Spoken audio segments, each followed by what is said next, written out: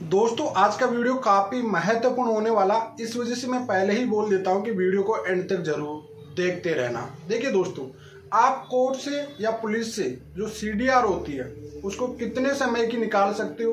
क्या लोकेशन भी आप निकाल सकते हो? क्या कॉल डिटेल भी निकाल सकते हो? क्या रिकॉर्डिंग भी निकाल सकते हो? क्या क्या चीज़ें आप निकाल सकते हो? इसका कानूनी प्रावधान क्या होता है, क्या नहीं होता है? इस वजह से आपके केसों में काफ़ी महत्वपूर्ण भूमिका निभाते हैं। कई बार कॉल डिटेल होती है कॉल लोकेशन होती है, उनकी लोकेशन कहाँ थी, कहाँ नहीं थी। ये सब चीज़ें काफ़ी लोग के सवाल भी आते रहते हैं। काफ़ी लोगों का इस चीज़ का कन्फ्यूज़ भी रहता है। लेकिन उनको ये पता नहीं रहता कि आखिर इन चीज़ों को हम कैसे निकालें तो चलिए दोस्तों नो टाइम पास नो बकवास, सीधा करते हैं काम की बात। मैं हूँ हंस। सेकंड बात दोस्तों कमेंट में नंबर ना छोड़िए। अगर आप मुझसे ही बात करना चाहते हो डिस्कशन पूरी डिटेल होती है अपॉइंटमेंट बुक करके आप बात कर सकते हो। देखिए दोस्तों, सबसे पहले कॉल डिटेल होती है। फ़ोन की जो भी बातचीत करते हो, चाहे वो टेक्स्ट मैसेज होता है, चाहे उसकी फ़ोन की लोकेशन होती है, यही चीज़ें आप निकाल सकते हो। कॉल जो रिकॉर्डिंग होती है, वो कभी निकलती नहीं है। और रिकॉर्डिंग करना भी एक गलत होता है, किसी भी दूरसंचार, जो भी कंपनी होती है उसके लिए तो रिकॉर्डिंग आपको नहीं मिलेगी कभी भी। लेकिन हाँ आपकी कॉल डिटेल की, उस फ़ोन से, उस नंबर से कितनी बात हुई, उसकी लोकेशन चाहते हो आपकी, उस तारीख को वो लोग कहाँ पे थे, कहाँ नहीं थे, वो लोकेशन आप निकाल सकते हो टेक्स्ट मैसेज कितने आए, कितने नहीं आए, वो सब चीज़ें आप निकाल सकते हो। तो सबसे पहले बात करते हैं, अगर आपका कोई क्रिमिनल केसेज है, चाहे वो डोरी का केस मतलब दहेज का केस हो, चाहे किसी मारपीट का केस हो, चाहे वो किसी षड्यंत्र का केस हो, किसी भी तरह का कोई अगर क्रिमिनल केस है तो आप इसका कोर्ट के पास पूरा राइट होता है। अगर पुलिस के पास भी इसका पूरा राइट होता है और आपको लगता है कि अहम भूमिका निभाता है, जैसे एडल्ट्री वाले मामले में होता है कि आप पति पत्नी हो, चाहे वो पति की लोकेशन ट्रैक कराना चाहते हो, चाहे पत्नी की, चाहे वो दोनों की एक साथ ट्रैक कराना चाहते हो कि इनकी लोकेशन मैच कर रही थी।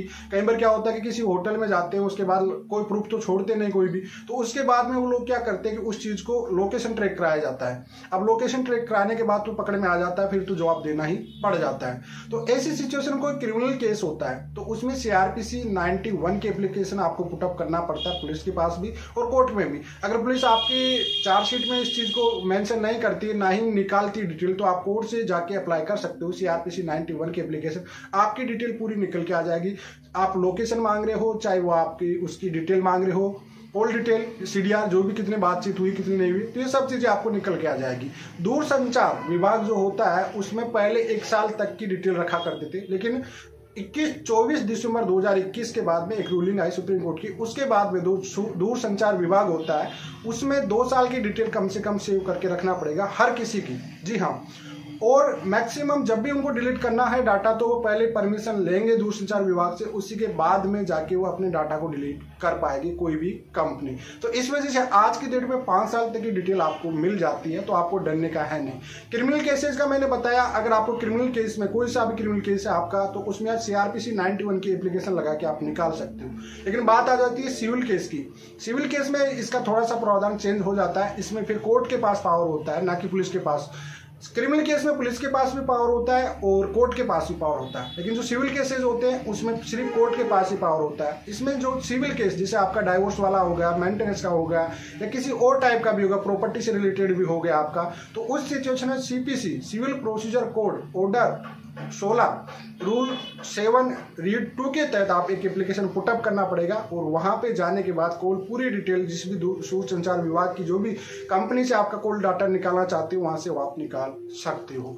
मतलब कुल मिलाकर चाहे वो केस सिविल हो, चाहे वो क्रिमिनल केस हो, आप किसी की भी लोकेशन चाहते हो, एक से दो साल के अंदर की तो वह आप पूरी तरह से निकाल सकते हो ट्रैक करा सकते हो। ये आपका निकालने का, अगर आपके केस में अहम भूमिका निभा रहा है कोल लोकेशन या कोल डिटेल तो आप डेफिनेटली इसके एप्लीकेशन लग के आप आप इसको निकाल सकते हो। आई होप मैंने आपके लिए काफ़ी महत्वपूर्ण एक टॉपिक था। शॉर्ट वीडियो बनाया, छोटी सी वीडियो में सब कुछ समझा दिया। आपको समझ में आ गया होगा। फिर भी अगर आपका कोई डाउट रहता है तो आप कमेंट में छोड़ दीजिए। जितने भी आपके कमेंट आएगा उसका अगला पार्ट में एक डिटेल में पूरी तरह से बना दूँगा। चलिए, आज के लिए इतना ही। जय हिंद, वंदे मातरम।